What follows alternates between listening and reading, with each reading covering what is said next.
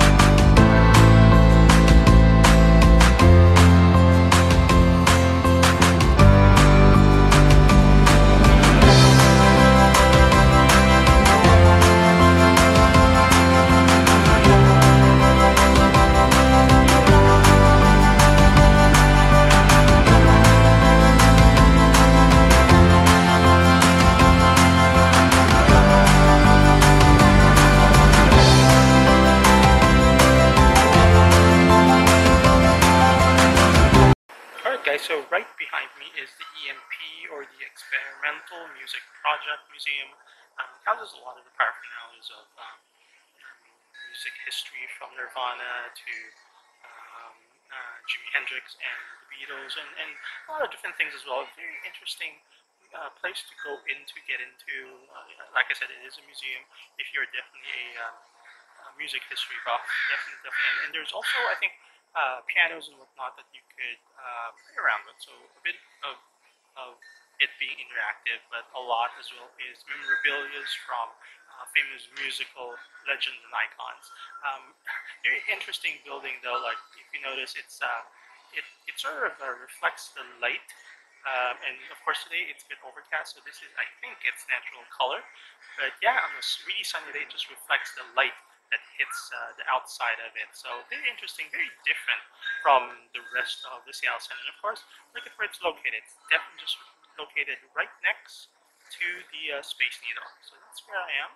I'm still in the Seattle Center. And in this area, there's um, museums, the Space Needle, restaurants, theaters, um, fountain as well, and uh, a lot of different things. So it's really a nice place to just walk around, especially on a lazy Sunday afternoon.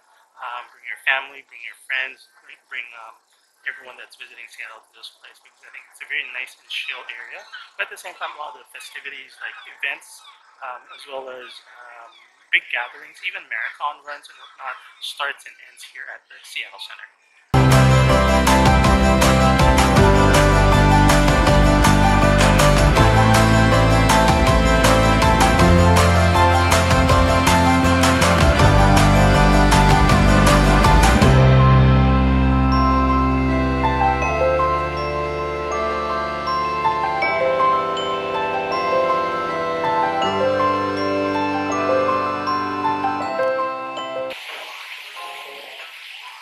Still in the uh, Seattle Center, and right behind me is the International Fountain. Um, typically, and they play cool music as well, and uh, definitely a great place all year round, but especially during the summertime where people just actually jump into the fountain and get wet. Um, also, right next to it is uh, Key Arena. This is where uh, basketball games used to be played when Seattle used to still have its hometown uh, NBA team.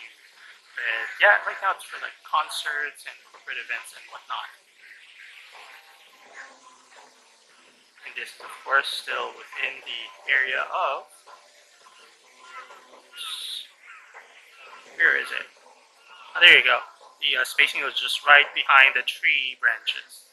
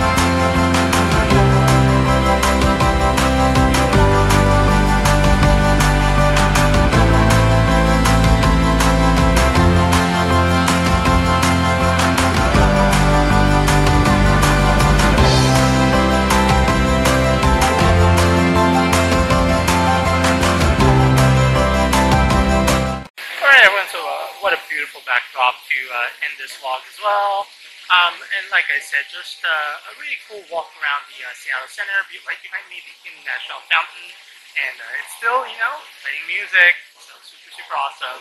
Um, and if you notice, it's about 5 p.m. The sun is slowly going down, sun slowly setting. Beautiful Sunday afternoon.